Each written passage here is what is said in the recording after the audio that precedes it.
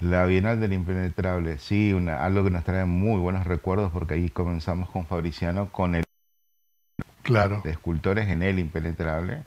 Eso fue algo realmente que te deja mucha sabiduría trabajar con él. Y ahora estuvimos en la, detrás de la estrategia de la táctica de, la comunicación eh, y la realización del video, que bueno, eso es una carrera con el tiempo y es un sacrificio muy grande porque uno es un reality y no se sabe con qué se va a encontrar. Claro. Y hay que trabajar mucho. Mucho y, este, sostenidamente. Mucho y sostenidamente. Y no solo se trabaja, no es trabajar delante de una escultora en una plaza, tenemos que ir. Fuimos al Parque Nacional Chaco, fuimos a una finca, fuimos a una experiencia de monte. Y son realmente momentos en donde uno tiene que, al momento de comunicar, eh, el evento en sí, eh, qué transmite a través del material. Entonces uno tiene que compenetrarse con la gente de la organización, con los artistas, con el ambiente y sentir la historia para poder transmitirla. Creo que cuando se está detrás de un proyecto audiovisual y no se siente la historia, se ve reflejado en la pantalla. Dijiste que estuviste en, la primer, en el primer encuentro con Fabriciano de ese primer encuentro a esta primer bienal, ¿cómo fue la evolución? Mm, yo creo que, por lo que tengo entendido, ya estaba determinado que esto era un proyecto que en algún momento tenía que crecer si la semilla prendía y brotaba. Claro. La e, primera etapa de encuentros fue, fue simplemente el estar cuidando el proyecto y tuvo la maduración justa y necesaria hoy la fundación y el proyecto en sí y se alineó también eh, el municipio, infraestructura para modificar el lugar y el predio que lo hizo mucho más amplio de lo que era antes. ¿Unieron dos plazas, tengo entendido? Unieron dos plazas, eliminaron una calle y se hizo un lugar muy lindo, muy acogedor y realmente la distribución de los artistas eh, estuvo bien organizada, bien planificada, hizo que la gente vaya desde ver a un escultor hasta un escenario y pase por los artesanos. O sea, la verdad que creo que maduró mucho la Fundación Amigos del Arte en ese sentido en cuanto a la organización que mantiene ¿no? la asesoría y de la Fundación Urunday. Claro, y este, aparte de, ir a ver, como vos decís, a los escultores, la evolución de la obra todos los días, que se hacen seis días en el Impenetrable, se hacen seis días. Este, también había una oferta cultural muy fuerte. Sí, trabajaron en alianza estratégica con el Instituto de Cultura y lo que me, en lo particular, lo que me gustó mucho es que se dedicaron a mostrar a su gente y a su gente regional. No trajeron grandes grupos de afuera. Ah, Destacaron lo propio, visibilizaron eh, a las personas que hacen cultura en el impenetrable. Entonces, el artista que vino de afuera se pudo encontrar desde una persona que tiene la experiencia de, de, tejer los canastos, de contarle de cómo, cómo, cómo, es la identidad cultural del Chaco desde, desde ahí, hasta encontrarse con diferentes tipos de academias locales de danza o grupos folclóricos netamente de la zona y típicos de Castellí conociendo la chacarera. Entonces fue muy rico ese encuentro cultural que creo que es lo, más, lo que más se destaca, ¿no? Claro y acompañó el tiempo y acompañó la gente. Acompañó el tiempo y acompañó la gente. Eso fue increíble, porque estaba pronosticado un poco de lluvia y un poco de, un poco de calor. Hizo calor, no tanto. Fuimos a los lugares verdes, días magníficos. Fue muy particular el domingo, el domingo llovió a la mañana y habían artistas que no habían terminado su obra y estaban extremadamente preocupados, pero fue un chaparrón fugaz, se despegó, se despejó y para las 3 de la tarde ya estaba todo expuesto. Eh, y la calidad de obra, eso hay que destacarlo, la calidad de obra es igual a la de Bienal del Chaco. claro, claro, son, aparte son los mismos este, escultores los que estuvieron, ¿no? Sí, sí, sí, sí. sí Solamente faltaron dos. Sí, no, faltaron dos. Eh, internacionales. Y, y, siempre ponen a dos artistas regionales para que trabajen en madera. Este año trabajaron madera de mora por primera vez. Yo siempre había visto trabajar en Palo Santo. Palo Santo, madera recuperada de decomisos. Eh, y fue la primera vez que fue Alejandro Arce, que se llevó la mirada, eh, la palabra de todas las personas. Sí, el reconocimiento fundamentalmente. Qué artista, ¿no? Eh, la, llevar desde el... Yo tuve la posibilidad de ver eh, la maqueta dibujada. Sí. Tuve la posibilidad de... Me regaló la maqueta en plastilina y tener la escultura en arena, o sea, la proyección y el traslado fue realmente increíble. Increíble. Ah, y lo que la gente no sabe, tal vez de los escultores internacionales, es la primera etapa de trabajo que eh, la concentración que tienen que tener. El primer día y medio de los escultores que trabajan en acero negro es crucial porque a diferencia de la Bienal de acero brillante o acero blanco que se había hecho acá en el Chaco, ahí se había cortado eh, con un equipo especial el acero y acá soldaban. Acá le dieron la chapa, como en, resistencia. La placa completa. La, plata, la placa completa. Y llevarlo al volumen y al, a la tercera dimensión fue realmente apasionante ver cobrar. Una chapa tirada del piso cobró volumen y ah. es maravilloso. Pero la cantidad de líneas, de medidas de, que tienen que sacar y cuanto más concentración tienen, más perfecto es el corte y mejor es la calidad de obra. Claro. Entonces, eso fue Y qué importante que esas obras, ayer hablaba con el intendente, me decía, quedan en Juan José Castelli y la vamos a, poner, este, van a, van a este, aumentar su, su parque eh, escultórico, ¿no? Sí. Este, y qué bueno que una localidad del Chaco, la puerta del impenetrable chaqueño, tenga este tipo de eventos. Eh, yo creo que realmente se creó un se consolidó un circuito escultórico. Y todo gracias a la visión de Fabriciano. Indudablemente. Eh, Fabriciano tuvo hace 10 años atrás, antes, porque hace 10 años está la fundación, tuvo la visión de que en algún momento esto sea una bienal, se consolide y que esto ayude también, porque es un granito de arena, porque cuando los escultores el, escultor Percy Zorrilla de Perú me decía, para mí esto es alucinante estar en, el impenetrable. Yo vivo frente al desierto. Esto para mí es maravilloso. Yo no veo tanto verde, me decía. Y, que se conviertan en voceros del impenetrable, como dijo el gobernador, me parece trascendental porque se llevan la multitud de gente del Chaco y se llevan el verde de impenetrable son voceros de la provincia que creo que de otra manera no se podría conseguir. Y los huichí trabajando la chisca, vi ahí en el video que está. Sí, siempre, permanentemente. Tejiendo, con chisca. Sí, eso, eso es permanente en los estanes de venta, eso es permanente, es natural, eso eh, los escultores se acercaban, eh, hubo una experiencia de campo y todos tejían, todos querían aprender. Eh, y, las artesanas le decían, no, está mal, o sea... Sí, sí. Eh, qué bueno, qué bueno. Que realmente muy, muy bien. Dentro de dos años voy a ir porque me dijo el presidente de la, de la fundación este, que había conseguido, yo le había pedido para ir, le había pedido que me consiga escabeche de Vizcacha. Y me dijo que me consiguió el tipo y yo no pude ir. Yo vi mucho, mucho trabajo, pero Ayer también hablando con el intendente me dice, tenés que venir, esto es otra cosa, y vamos a ir, la próxima vamos a ir a... Es para disfrutar, pero realmente es para disfrutar. Eh, yo tuve la posibilidad de ver muchos años y estar muchos años de cerca en, Resistencia. Eh, eso sí es, es un laberinto de, movimiento continuo, eh, pero allá es como que uno se relaja, baja los decibeles, se libera de tanta presión y, realmente uno disfruta de estar ahí y el lugar. Qué bueno. Bueno, ahora vamos a hablar de, la productora. Productora. ¿Eh? PAC, productora de contenidos.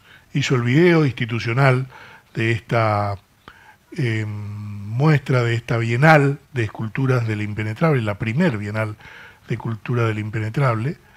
Este video que estamos observando fue hecho por la productora que conduce Lisandro Fernández y es una síntesis de seis días de trabajo, de seis días de creación, muy, pero muy buena, muy lograda, diría yo,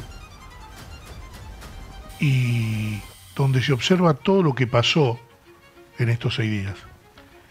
Bueno, es una síntesis difícil de conseguir. Primero partimos de la música. Eh, tuvimos casi cuatro meses de búsqueda y compra de licencia de la música. Eh, porque tenemos que sentir y tenemos que empezar a pensar. Lo que no podemos es saber qué va a pasar en el lugar. Eh, se fueron tres camarógrafos, fueron siete cámaras diferentes que se utilizaron. pasan cosas como en este caso, bueno, se cayó el dron en una, de, las tomas, eh, que suele ocurrir eh, En, condiciones de trabajo normales, siempre pasa algo, eh, pero poder encontrar esto es mucha búsqueda y mucho trabajo en equipo. Sin trabajo en equipo, Pedro, este tipo de productos no, no, no es imposible sacar. pensar, tratar de anticiparnos qué va a hacer el escultor, ver las etapas de, de la obra, incorporar esto. Eh, había momentos en que los chicos dormían tres horas, cuatro horas, eh, todas las cuestiones que por ahí parecen cómicas, ver cómo se introducen en el... Porque eso todo es natural, ¿eh? Nada es armado. Todo es absolutamente natural. Eh, y ver cómo se le, se le incorpora, bueno, y ver cómo se, se va a ver el, el, el impenetrable, ¿no es cierto? que, que, es la combinación perfecta con este, con este producto. Y bueno, y otra cosa muy peligrosa para nosotros, para los chicos me decían, era el tema del cuidado de cámaras, el tema del cuidado de lentes, y por el tema de chispa. Hay muchas tomas realmente impresionantes que yo todavía no sé cómo le hicieron los chicos, eh, pero eso simboliza y significa para nosotros eh, lo que venimos haciendo con Hernán Guaymás, que es mi socio. Sí. Eh, hace un par de dos años atrás dijimos eh, vamos a formar líderes en el equipo, eh, dejemos de tener colaboradores y creo que los dos años hoy maduraron los chicos y eh, tenemos personal y tenemos chicos que nos ayudan y dan más de lo que nos decía, lo que nos enseñó Fabriciano, nos daban más salario emocional. Claro. y más equipo y más significado de pertenencia, que, porque si no de otra manera no se puede conseguir esto. Esto, la, la, el concurso de pan casero, esto me, me impactó. Eh, es uno de los momentos en que más gente se llena, se llena en la plaza. Pues se amasa ahí. Se amasa ahí, como los Y están los hornos. Y están, está el horno, que es muy grande. Hay un maestro panadero que es el que cuida el, el pan. Eh, y son todas amas de casa, ¿no? Es que son panaderos profesionales. Ah, yo creía que eran panaderos de la zona. No, son, son personas que hacen pan casero de la zona aledaña y van a concursar. O sea que cada uno trae una receta de la abuela, de la mamá, de la familia. Y la degustación de panes, pero bueno, te ponen salamines al lado, eh, te ponen el, uno de los premios, uno de los premios que ganó fue pan con ajo. Yo en la vida nunca había comido. Yo eh, comí eh, no pan casero con ajo, sino este eh, pan tostado con ajo, que se tuesta en aceite de oliva. Eso sí comí. Sí, Pero pan casero con ajo no. pan casero con ajo y, y pan con chicharrón y, y hay muchas, muchas combinaciones de pan en donde uno por ahí se queda esperando que siga viendo y no, es lo que se ve que sale del horno y terminó. Pide la, gente, la gente. Y eso se hace en un día. Eso se hace en cuatro horas. La gente pide que haya un, en octubre otro concurso y la gente pide de que se haga de manera permanente un concurso de pan casero. Lo pedía la gente, decían, no, esto es magia, esto es magia de, la Bienal y adivina a quién se le ocurrió. Fabriciano. A Fabriciano así como está el pan francés, el pan baguette, decía él, eh, aparte, de, aparte de que el espíritu disfrute, vamos a disfrutar con el estómago. Mirá vos. Así que este es el pan de aroma de monte, decía Fabriciano. Claro, porque esos hornos a leña. Es, ¿no? Sí, el, horno a leña. El bueno, gusto. Lo que no se ve. eh, fue, creo, vamos a poner, fue el 24 el pan. Se construyó el horno 40, 36 horas antes. No, 48 horas antes. Se prendió el horno para empezar a curarlo despacito. O sea, se prendió el horno y cuando te digo, con guardia, con guardia permanente para que el horno no se enfríe. ¿eh? Porque había que cocinar despacito el horno para que eso perdure en el tiempo. Y, y llegué con la temperatura justa al momento de cocinar el pan. Que ese, bueno. ese día hubo 36 grados bajo el sol de Castelli, Epa, pero hubo mucha gente de todas maneras. qué Hubo lindo, qué lindo. ¿Qué otra de las cosas te, te deslumbró o te sorprendió a vos que ya participaste de, de muchas este, bienales? Eh, yo creo que el- el- la selección de artistas de esta Bienal eh, fue realmente sorprendente. Los artistas fueron muy particulares, fueron, trabajaron, colaboraron mucho. Lo que no se ve delante de cámara, eh, yo escuché que en alguna nota que le hicieron acá decían no competimos acá, pero acá sí es una competencia. Allá no hay competencia, eso es importante decirlo. No hay competencia, es como un encuentro. Eh, tuvo problemas el argentino Bernardi con la pintura. No sabían qué pasó, que no se secaba. Y vos veías permanentemente ahí a dos o tres escultores que ya estaban con su obra muy avanzada, colaborando con él. En técnica, en tratar de analizar y descubrir qué era lo que estaba pasando, si era el acero o si era la pintura. Eh, colaboraron también con, con la escultora que ganó acá, Sí, eh, y después el equipo de gente de, de asistentes, eh, bueno, se fue el mismo equipo principal de acá, que es la gente de Salva Aceros, y después fueron alumnos de la escuela técnica allá, y usaron diferentes técnicas para empezar a secar las obras, eh, fue todo un trabajo en equipo. ¿eh? claro, claro. Eh, eso me llamó la atención.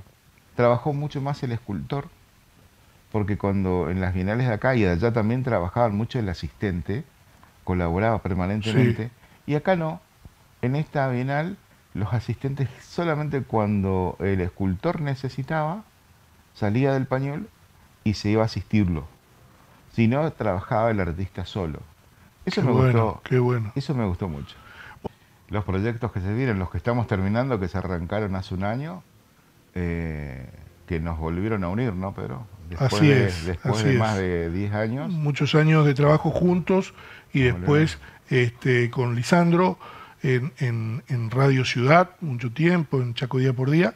Después Lisandro tomó su camino, emprendió el rumbo de, de armar una productora de contenidos y verdaderamente este, nos volvimos a, a unir en el año 2023 este, con un producto que tiene que salir cuanto antes. sí, un producto que tiene que salir cuanto antes. Recuerdo que cuando me fui de acá, eh, yo siento un poco de resiliencia porque eh, fue el momento en que tuve la parálisis facial. Claro, tuve una parálisis facial eh, y ahí decidimos abrir después la productora y estábamos bajo, en el 2010 habíamos ingresado a la prensa de la Fundación Urunday porque Fabri nos convocó eh, hasta el 2022 y, en ese momento, bueno, en el 2022 queríamos también cambiar un poco el, el, rumbo y el proyecto y, y comenzamos este proyecto que van a terminar siendo 40 años de historia de momentos fundamentales de la provincia del Chaco. Me parece que el trabajo que se está haciendo a través de CAPEAR y a través de, de, PAC no se hizo hasta el momento en el mercado de la provincia, que es que todos los referentes de la política de la, de la provincia eh, dejen su testimonio de cómo fue cada momento, ¿no? Pocholo Mancuello tuvo mucho que ver en el desenvolvimiento histórico para poder contar esta narrativa, pero eh, que estén todos los gobernadores vivos, que hayamos tenido la posibilidad de conseguir material histórico de los gobernadores democráticos de la provincia en video y poder tener ese testimonio creo que es invaluable para, para lo que es eh, la, la historia de nuestra provincia y después las voces de quienes hicieron eh, las leyes y de quienes estuvieron en cada etapa aquí eh, en, en la provincia del Chaco. Tenemos más de 34 testimonios, un proyecto que tenía que ser de 40 minutos, se fue a un proyecto de 5 horas. Eh, entonces creo que nos quedó muchas cosas afuera. ¿Que va a terminar siendo un proyecto de dos horas? Va a terminar siendo un proyecto de no menos de cuatro capítulos. De cuatro capítulos de casi una hora. Ah, bueno. Eh, Impresionante. Eh, y el conjunto de voces y de testimonios es realmente, para mí, que no conocía mucho de historia, eh, y cuando vean el material en la pantalla, van a decir, pero esto está pasando ahora. Claro. Esto ya pasaba hace 30 años. Sí, sí, sí, sí. Eh, que querían cortar de la luz porque la situación del país, que te aumentaban los precios como te aumentaban. O sea, esto ya lo vivimos antes, van a decir los chicos, porque es para las nuevas generaciones esto. Sí, totalmente. Este, va a ser el, el proyecto que hemos encarado con, con Lisandro Fernández y con Rodolfo Pocholo Mancuello, tiene que ver con los 40 años de democracia en el Chaco. Y lo hemos trabajado durante el fines del 2023, nos quedamos sin tiempo porque la idea era este, poder meter todo, pero evidentemente es un trabajo descomunal de, producción y un trabajo tremendo de edición, tremendo, este, por la cantidad de testimonios, por la cantidad de material conseguido, este, porque se iban abriendo ventanas a medida que íbamos haciendo las entrevistas, se iban este, alimentando el guion que teníamos previsto, y, este es un trabajo que eh, de años, ¿no? Que lo hicimos en... En un tiempo récord y la digitalización de, de, cassette. Claro. Diferentes modelos y fueron 40 años, o sea, pasamos eh, de los Humatic, o sea, conseguimos materiales en todos los formatos de cassette habidos y por haber. Hay cosas que pudimos bajar y otras que no porque no se consiguieron los equipamientos en la provincia ni en la región, eh, lo, cual hace, lo cual hace el proyecto muy rico. A ver, tenemos a quien fuera el gobernador eh, Guaroni entregando las tierras a los aborígenes en el impenetrable. Sí, sí, sí. O sea, ese descubrimiento y decís, ¿qué dejás afuera? Claro, claro. Eh, eh, no, no, muchísimo material, muchísimo material. Un trabajo impresionante, este, que lo, lo vimos todavía en parte, hay que verlo este, completo y terminado. ¿no? Ya está, ya está ahí, ya, ya, está. próximo para ser presentado. con un cierre, con un cierre magistral, ¿no? Sí, primero no te voy a negar de que me pareció un poco raro la idea de Pocholo, pero cuando lo vimos materializado ahí, eh, que tiene que ver con la música, no entendíamos muy bien por qué tenía que ser con música, un cierre de política y de... Sí, sí, sí, sí, sí, eh, de, vida democrática, digamos. De vida democrática, pero cuando uno va viendo la música y los intérpretes. sí, eh, sí, cobra, cobra sentido. Indudablemente. Bueno, Lisandro, para mí un gusto enorme tenerte aquí en los estudios, hacía rato que no venías. Este, y me gustó muchísimo el trabajo que hiciste en la Bienal del Impenetrable. Eh, esta mañana cuando lo vi este, y se lo mandé a los chicos, me dijeron, lo, lo vieron, me dijeron, muy bueno, lo vamos a poner en el noticiero. Y le dije que sí, que me parecía que era, que era un documental para ponerlo, era una síntesis de un evento magistral, era para ponerlo en el noticiero, porque es una manera de darle visibilidad a cosas que se hacen en el interior de la provincia y que se hacen bien. Mira, primero agradecer porque ustedes se pusieron, eh, abrieron las puertas de, este medio para comunicar, porque lo mío es la parte de estrategia en la comunicación y después la implementación de la táctica a través de la productora. Y eso fue una ventana que llegó a muchos lados porque mucha gente nos decía se está viendo y se está viendo el impenetrable, estamos viendo por televisión y los primeros que mandábamos algo, los primeros que ponían eran ustedes. Entonces quiere decir que el canal también se, se ve un montón.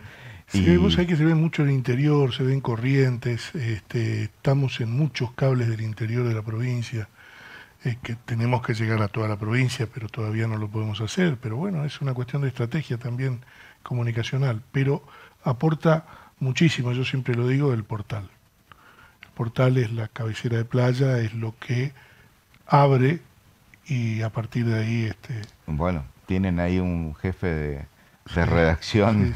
Eh, yo, yo, me sorprendí, decía, pero Pocholo ya publicó los 20 minutos que, que largamos, el, se comenzó el evento, o sea, eh, el acompañamiento fue muy grande y se, se notó, pero... Bueno, me alegro mucho porque esa era la idea, complementarnos eh, con el trabajo de ustedes, de, PAC, productora de contenidos en el Impenetrable, nosotros desde acá, este, apoyando comunicacionalmente, como que es lo que sabemos hacer. Así que un gustazo y, adelante y éxitos en lo que emprendas. ¿eh?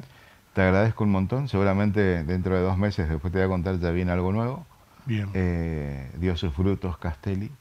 Eh, así que vamos a estar, pasamos de la escultura a la pintura.